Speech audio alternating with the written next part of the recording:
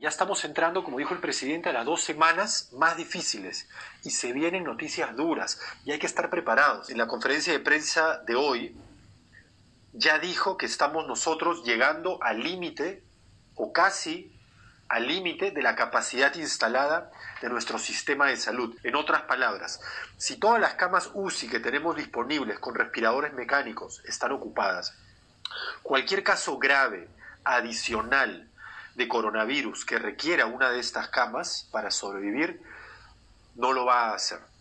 El grado o la posibilidad o el porcentaje de muerte de un paciente con coronavirus que requiera respirador artificial y que no pueda acceder a una de estas camas es casi el 100%. Esa es la gravedad de la situación en la que nos encontramos en este momento. ¿Cuál es la capacidad instalada a hoy, 20 de abril, de nuestro sistema de salud? 525 camas de cuidados intensivos a nivel nacional. De ellas, en este momento, 385 están ocupadas. Es un montón, sobre todo porque, y es lo que yo quería conversar con ustedes ahora, aparentemente estamos recién sincerando las cifras, porque hemos visto imágenes durante la semana de pacientes reclamando atención y en el centro de salud no los aceptaban. Y vamos a poner esto en contexto ahora, ¿ya? Hace dos días, el sábado 18, el presidente dio un mensaje a la nación, como usualmente hace durante los medios días. Y él en ese momento dijo que había 117 camas de cuidados intensivos ocupadas. 117 camas de cuidados intensivos. Me refiero al 18 de abril, ¿ah? hace tan solo dos días. Ahora tenemos 268 camas más de cuidados intensivos, lo que quiere decir que hemos llegado al total de 385 que él señala, pero 268 camas más en solamente dos días. ¿Tiene idea la cantidad de, de casos adicionales que es esa? Quizás no son casos adicionales necesariamente, son casos que estaban ahí, pero a los cuales no se les había diagnosticado coronavirus. Es probable también. Si a este momento solo quedan 140 camas más de cuidados intensivos vacías a nivel nacional, lo cual no significa que estén distribuidas de manera proporcional a la población de cada región, ese es otro tema. Esto significa que en dos días, si esta tasa de crecimiento continúa, deberíamos ocupar todas las camas de cuidados intensivos que existen en el país. Con todas las camas de cuidados intensivos ocupadas, si alguien se enferma de coronavirus y si este cuadro deriva en una complicación respiratoria severa, no tiene dónde atenderse. Porque la única manera de salvar la vida de alguien, y lo dicen los especialistas, en quien se complica el coronavirus y ya tiene comprometida su función respiratoria, es teniendo una cama de cuidados intensivos con un respirador mecánico. El presidente ha tratado hoy día de sincerar algunas cifras, pero yo creo que hay bastante más gente en este momento enferma por coronavirus que o no lo sabe o lo sospecha, pero no hay ninguna prueba que haya determinado que efectivamente padecen la enfermedad. Hay un subregistro evidente en nuestro país y quizás el caso más notorio es el del excongresista Glider que como sabemos fue diagnosticado negativo por una prueba rápida de la que vamos a hablar ahora y que luego de fallecer se confirmó que efectivamente tenía coronavirus. ¿Cuántos peruanos en este momento tienen coronavirus y no lo saben? ¿Cuántos peruanos en este momento sospechan que tienen coronavirus? O incluso los médicos creen que puede tener coronavirus, pero no hay una prueba que determine efectivamente que lo tiene. Estamos en este momento en una carrera y es una carrera que básicamente depende de dos curvas. Hemos hablado muchísimo de la curva que hay que aplanar, ¿verdad? La curva de contagios que se viene elevando en nuestro país. Y esta curva hay que aplanarla. Y por ello la cuarentena. Y por ello el famoso martillazo. Pero además de esta curva que se viene elevando todavía en nuestro país y que tenemos que bajar, hay una curva que ya es baja y que tenemos que subir. Y esta curva que tenemos que elevar es la curva de nuestras camas de cuidados intensivos, de la capacidad instalada que tenemos en este momento de poder nosotros atender a las personas que se enferman y cuya, y cuya situación se complica. La curva de contagios no puede pasar la curva de nuestra capacidad instalada, porque que pase esa curva implica que todos los casos por encima de ella son prácticamente muerte segura. Es en esa situación en la que el presidente, en el mensaje de hoy, nos ha empezado a poner. Y él ha dicho algo más. Ha dicho que la cantidad de contagios durante los últimos días, especialmente desde que la cuarentena fue instaurada, se han, elevado, se han elevado. Y se han elevado de manera notoria. Yo estaba haciendo números y la cosa va más o menos así. Desde que te contagias hasta que empiezas a mostrar síntomas, pueden pasar entre 5 días y 12 días. Eso significa, pongámonos en la situación, en el peor de los casos, en el caso más extremo, que deben pasar casi dos semanas para que tú empieces a mostrar síntomas de coronavirus si es que te has contagiado. La cuarentena empezó el 16 de marzo. Al 30 de marzo, es decir, dos semanas después de que la cuarentena se instaló, dos semanas después de que ya teníamos la cuarentena restringiendo nuestra vida diaria, al 30 de marzo había en el país 950 casos diagnosticados de coronavirus. 950 casos al 30 de marzo. De ahí en adelante, en teoría, todos los demás contagiados diagnosticados que presentaban síntomas se contagiaron en cuarentena, cuando la cuarentena ya estaba impuesta. ¿Saben cuántos casos hay nuevos de gente que se supone que se contagió estando en la cuarentena? Bueno, hay 15.375. Por supuesto tenemos que descontar de estos 15.375 casos a los trabajadores de la salud, que en muchos hospitales se sienten desprotegidos, sin el mínimo de condiciones para trabajar. Tenemos que descontar también a los policías, a los militares y había que descontar a algunas personas que todavía siguen trabajando en industrias esenciales. Pero quítanos a todos ellos del mapa y la verdad todo el resto es gente que se ha contagiado en la calle, que se ha contagiado rompiendo la cuarentena. Aquí entonces el presidente ha tratado de poner parte de la responsabilidad de la situación en la que estamos nosotros en este momento en la gente. Pero veamos a detalle las responsabilidades, porque la cosa no es así nomás de empezar a levantar el dedo acusador y aquí la gente es responsable. ¿no? Veamos el detalle. Uno, décadas de abandono del sistema de salud son responsables de la situación en la que en este momento nosotros nos encontramos. Y eso agarra a todos los gobiernos previos. ¿ya? Esa diría yo que es una de las principales responsabilidades ahora un sistema de salud paupérrimo, un sistema de salud que ahora intenta parchar los huecos abiertos durante décadas, un sistema de salud que según The Economist era peor al ecuatoriano antes de iniciar la crisis. Y miren cómo está Ecuador. Quizá lo que nos salvó más o menos fue que reaccionamos relativamente rápido, pero no podemos tapar el sol con un dedo. Nuestro sistema de salud era y es todavía un desastre. El segundo responsable de la situación en la que estamos nosotros ahora es el gobierno. El presidente no puede achacar toda la responsabilidad a la ciudadanía.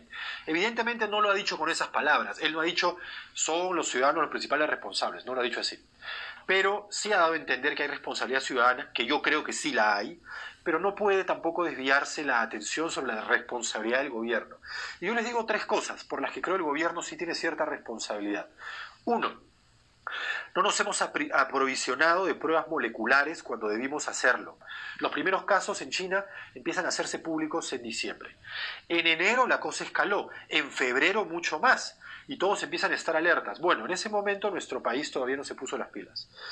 No se compraron las pruebas moleculares que debieron comprarse. Eso es uno. Otra falla que yo veo, y debe haber varias más, pero solamente les suelto algunas que para mí resultaron evidentes. No nos pusimos en cola para comprar respiradores mecánicos. Y ahora que hemos entrado a esa pugna internacional, estamos tarde, recontra tarde, al final de la cola. Y encima, los gobiernos que más plata tienen se saltan los sitios y se van para adelante. Y nosotros estamos atrás y nos siguen poniendo atrás. Y el presidente ha dicho que en este momento es probable que no lleguen ni siquiera respiradores mecánicos al Perú en los próximos dos meses. Y el tercer gran problema, creo yo, fue que durante el primer trimestre del año nuestro país exportó cerca de 30 millones de mascarillas. 30 millones de mascarillas cuando acá hacían falta. Y no solo hacen falta, sino que ahora ya hasta son obligatorias. ¿Se acuerdan que antes no eran obligatorias? Porque no había dónde conseguirlas. Ahora tampoco hay dónde conseguirlas, pero son obligatorias.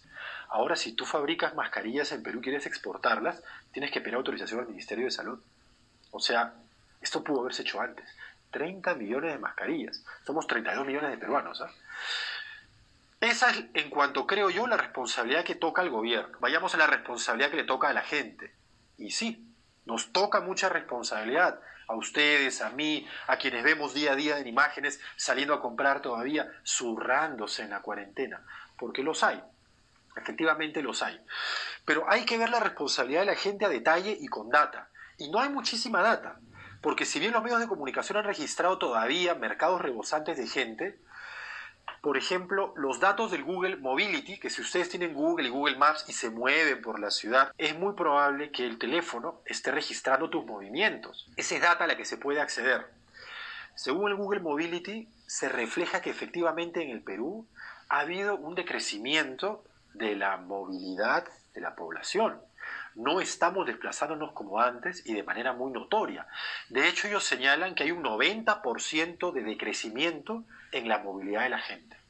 ¿Por qué nos seguimos contagiando entonces? Una de las respuestas que se ensaya es que los peruanos solemos vivir en grupos.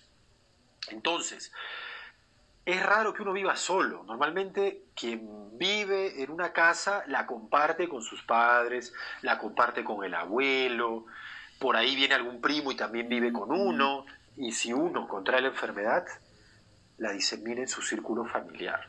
Esa puede ser una razón que todavía se especula, no hay mucha data que la sustente, de por qué es que nuestra densidad poblacional, y tú, lo, tú bien lo dices, Fabita, puede ser una de las razones por las cuales la enfermedad se sigue propagando a pesar de este martillazo.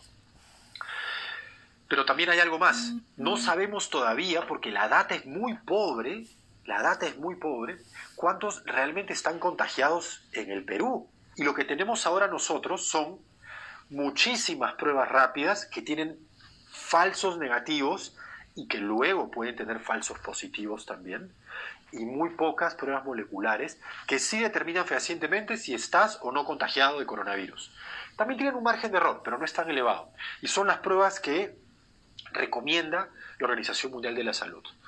Entonces, al momento, cuando hemos hecho 148 mil pruebas a nivel nacional, realmente de ellas solo 41.000 son moleculares, lo cual representa el 30%, menos del 30% del total de pruebas que estamos haciendo nosotros en este momento.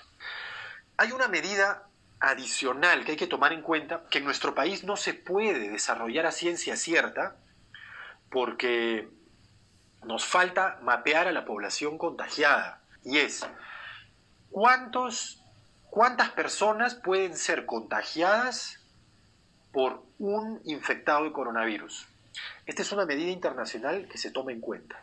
¿ya?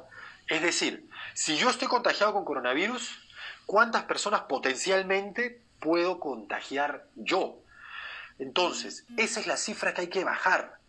Porque si yo tengo coronavirus y contagio a dos, y luego esos dos contagian a dos más y luego todos ellos contagian a dos más, estamos hablando de un crecimiento exponencial y en esa circunstancia nuestro sistema de salud colapsa.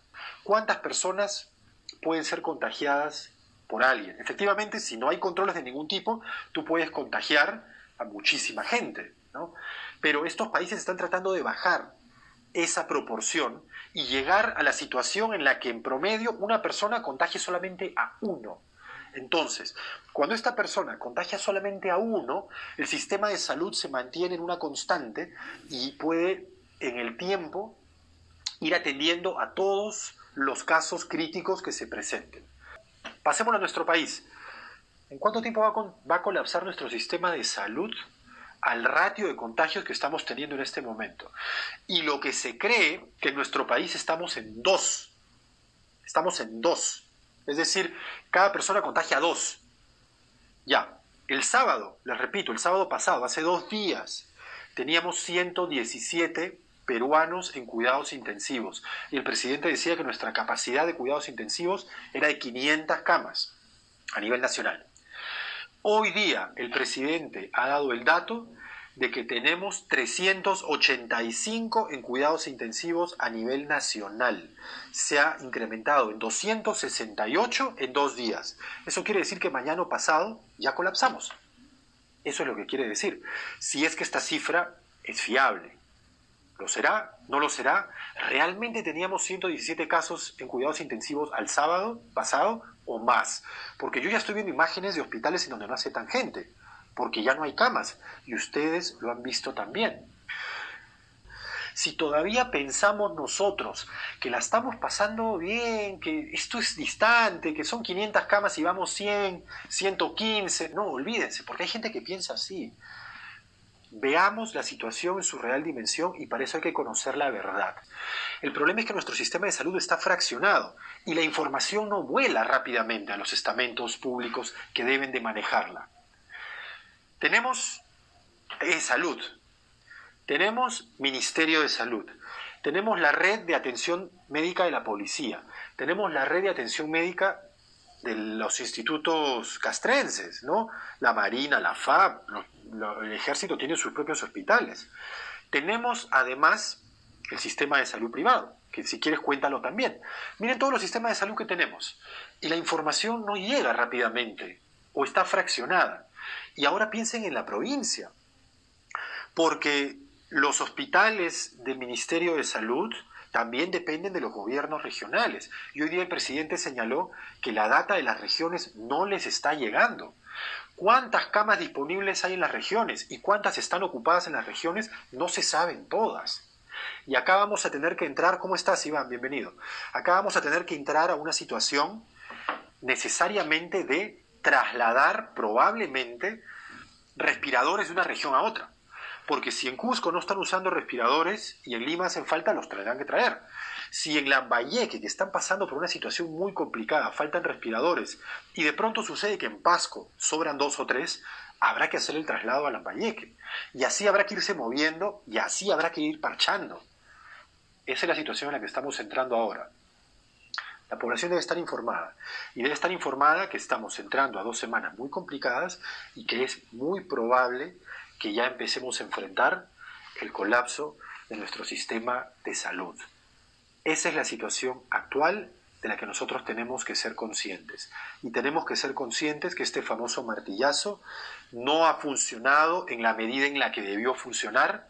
Hemos desacelerado el crecimiento de la curva, pero no lo suficiente. Sigue incrementándose los casos. Nuestro sistema de salud tiene muchísimas limitaciones que no dependen solo de este gobierno, que arrastramos desde hace por lo menos tres décadas y que en estas circunstancias amerita que el gobierno piense en otra estrategia en otra estrategia. Ya el martillazo no funcionó como debió haber funcionado.